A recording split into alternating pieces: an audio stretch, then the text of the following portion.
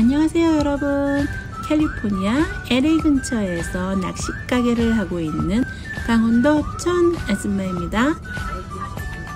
저희가 얼마 전에 라스베가스를 갔다 왔어요.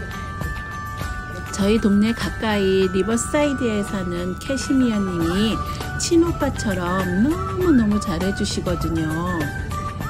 근데 그 캐시미어 님 어, 별장이 라스베가스에 있어요 너무너무 좋다고 언제부터 가자고 가자고 했는데 저희가 시간이 잘 안 맞고 그래서 못 갔었거든요.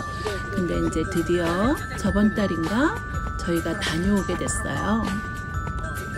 지금 여기 가는 곳이 어, 그 캘리포니아하고 라스베가스하고 경계선 있는 데쯤이거든요. 근데 왼쪽에 보시면 무슨 이렇게 하얀 어, 것 같은 것들이 막 보이잖아요. 그게 바로 태양열 전지예요. 그 태양열 발전소. 그 라스베가스 쪽에 굉장히 크게 지금 생겨가지고요.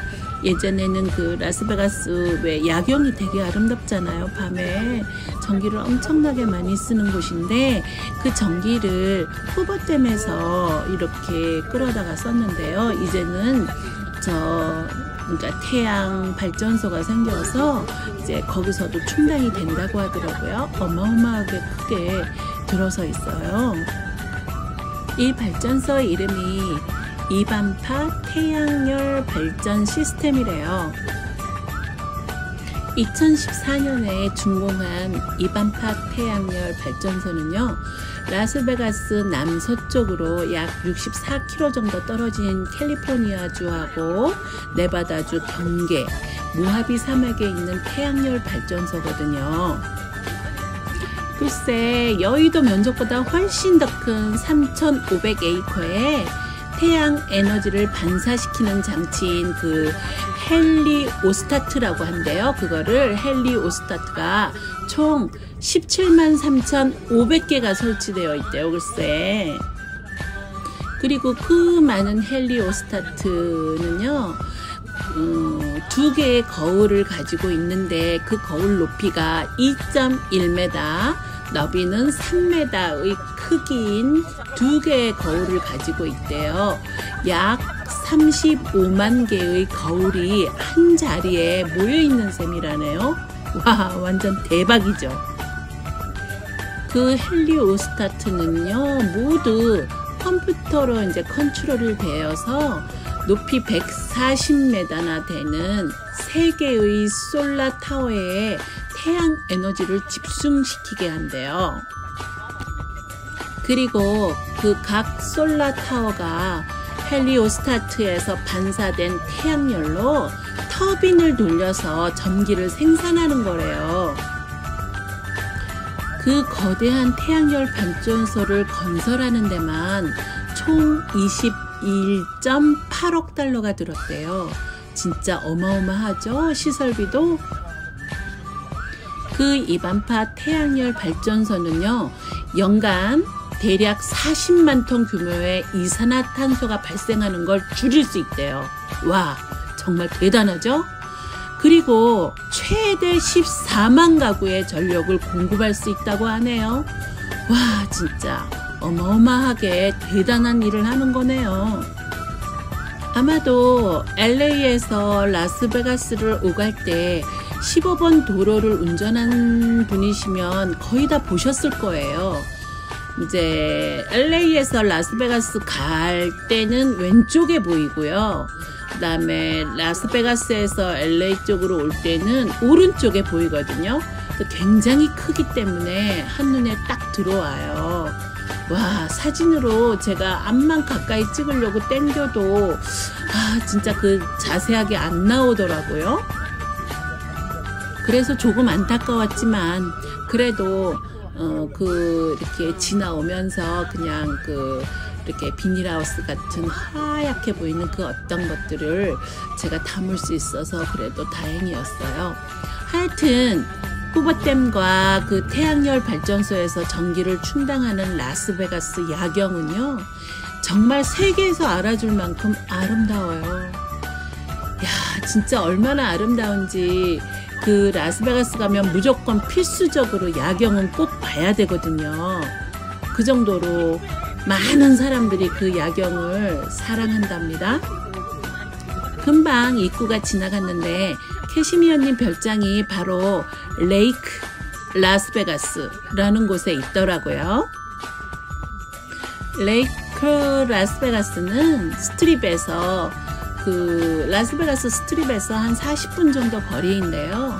동네 입구에 들어서자마자 골프장하고 그 작은 호수들이 막 있더라고요. 야, 진짜 입구에 딱 들어서자마자 너무너무 아름답고 예쁜 이렇게 또 시리가 펼쳐지는데 완전 힐링시켜 줄 수 있는 너무너무 아름다운 곳이더라고요. 대박이에요. 그 레이크 라스베가스는 넓은 호수 미드호 같아요. 인공호수 그 미드호와 그리고 자그마한 호수들이 여기저기 막 멋있게 펼쳐져 있고요. 또 레스토랑들 그리고 디저트 카페 그리고 바도 있고 호텔까지 그 안에 다 있어서 정말 편안하게 쉬면서 힐링하기 딱 좋은 곳인 것 같더라고요. 항상 라스베가스에 오면 스트립만 갔다가 어, 밤 야경 보고 그리고 그 다음엔 또 다른 그 여행지로 떠나야 했기 때문에 이렇게 그 레이크 라스베가스라는 시리가 있는지조차도 저는 몰랐어요 그동안. 근데 캐시미어님 덕분에 이렇게 그 레이크 라스베가스라는 곳을 와 보니까 우와 정말 너무너무 좋아요. 환상이었어요 정말. 아 들어가는 입구서부터 막 동네를 얼마나 그냥 고급지게 그냥 럭셔리하게 꾸며놨는지 아우 막 오면서 계속 막 감탄 감탄 감탄. 와 진짜 좋다. 여기 너무 좋다. 막 이러면서 갔답니다. 아 진짜. 웬복인가 몰라요. 캐시미어님 덕분에 보세요. 여기가 이제 그 별장 들어가는 입구거든요. 너무 좋죠? 꼭 문이 탁 열리는, 열리는데 어서 오세요 주인날이 하면서 환영해 주는 것 같아서 기분이 완전 짱이던데요. 캐시미어님 별장에 오니까 사람들이 많이 오지 않아서 아주 조용하고 한적하고 진짜 제대로 힐링할 수 있는 여유가 생겨서 정말 너무너무 좋더라고요. 여기 레이크 라스베가스에서는요 가까이 호수가 많아서 플라잉 보드 그리고 제트스키 그리고 카약도 탈 수 있고요 낚시도 즐길 수 있어서 완전 낚시 매니아님들한테는 천국이겠더라고요 캐시미어님도 낚시를 했는데 얼마나 많이 잡히는지. 아 이제 힘들어서 못하겠다. 고만 잡자 고만 잡자. 그러고 들어왔다 그러더라고요. 그러니 낚시 매니아님들은 완전 짱이죠.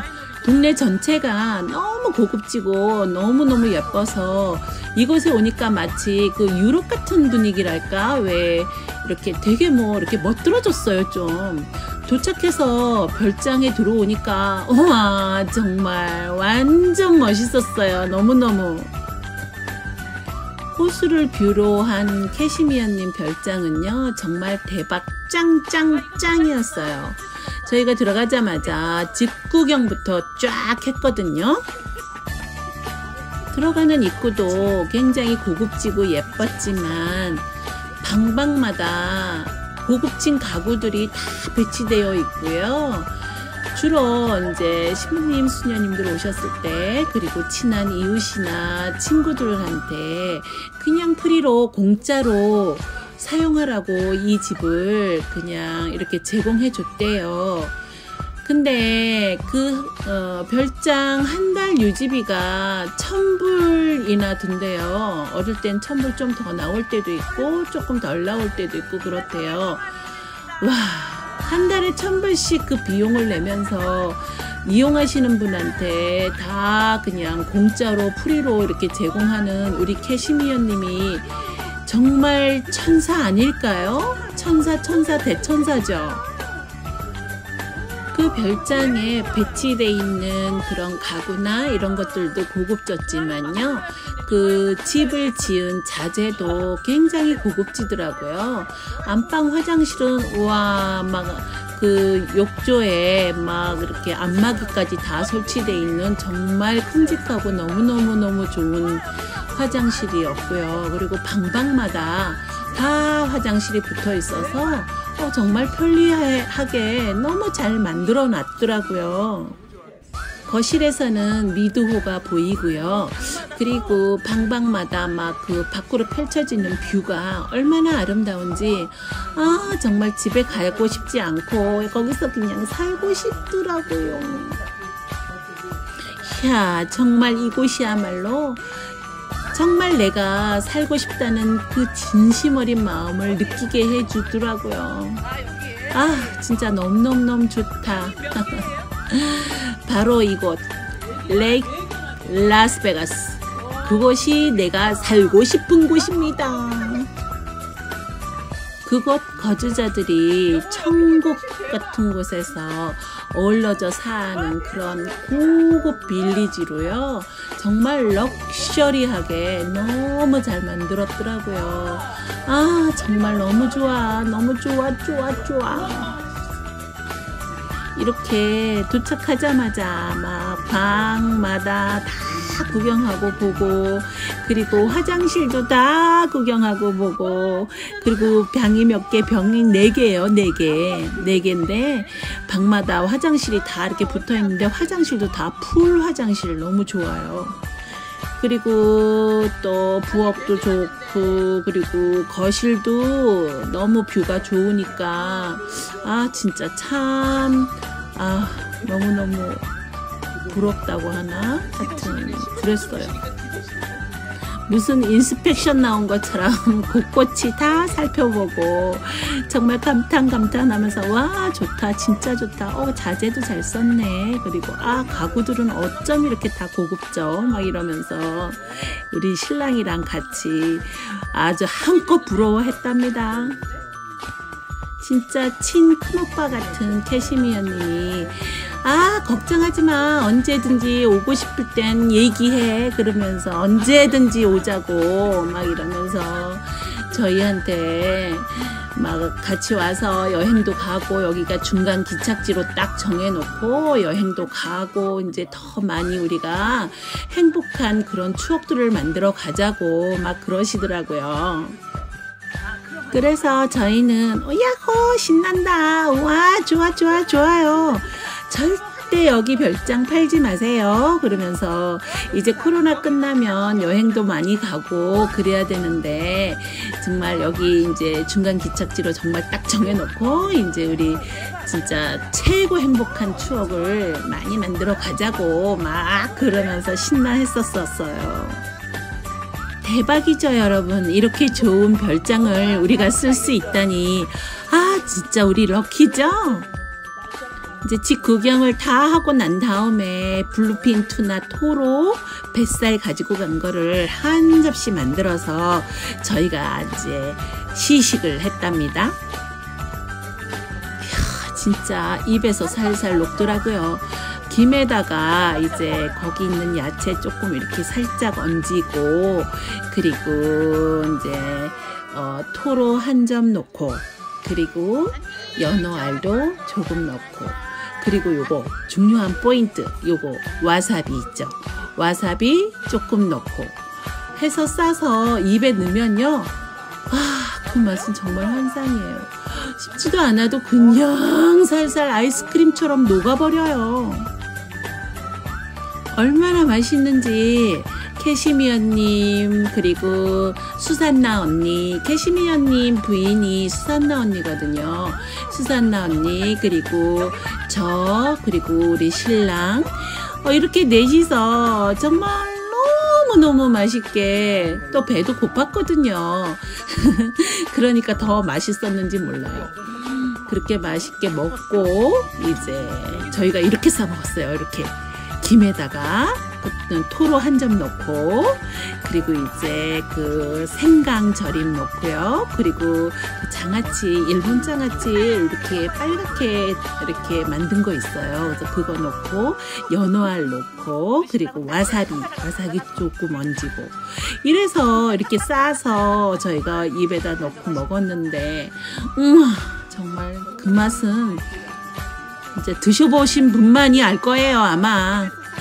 아, 요거, 요거, 요거 땡기시는 분 저희 집에 놀러 오세요. 운 좋으면 드실 수 있어요. 그렇게 한 접시를 뚝딱 하고요. 이제 저희가 그, 어, 미드호에 정말 막 잉어, 뭐, 그리고 그, 숭어, 숭어가 있었나? 어, 맞아. 스트라이패스가 있더라고요. 그런 거 많이 있다고 구경하러 가자고 그래서 저희가 지금 집을 나가서 이제 그곳을 향해서 가고 있답니다. 그 엄청 많은 청둥 오리와 그 어, 잉어들의 향연은요 다음 영상에서 제가 보여드릴게요. 여러분 구독 좋아요는 사랑입니다. 꾹꾹 눌러주세요, please.